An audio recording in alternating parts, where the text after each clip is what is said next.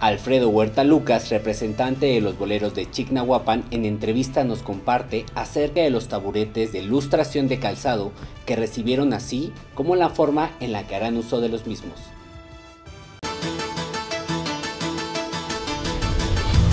Este oficio, mi compañero Hugo, Hugo Vázquez, creo es, es el que tiene más tiempo ahorita trabajando. Mira, antes que nada, pues por nuestro ciudadano, nuestro presidente, y gestionando con, este, nos, con la arquitecta Jessie, con el arquitecto Ismael, pero sobre todo pues, nuestro presidente, efectivamente. Nada, es gratis.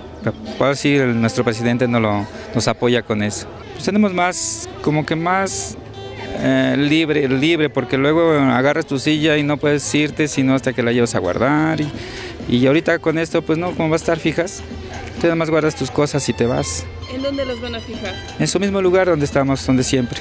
Pues más que nada que sientan en su casa y como es su casa tienen que cuidarlas también. Y pues ahora sí que nos ayuden a cuidar nuestro equipo. Sí, somos dos en total. Pues que estamos contentos, agradecidos y gracias a nuestro ciudadano y mis compañeros pues, están tan felices.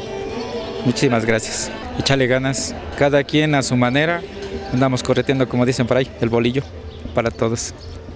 Cada quien en su forma, claro.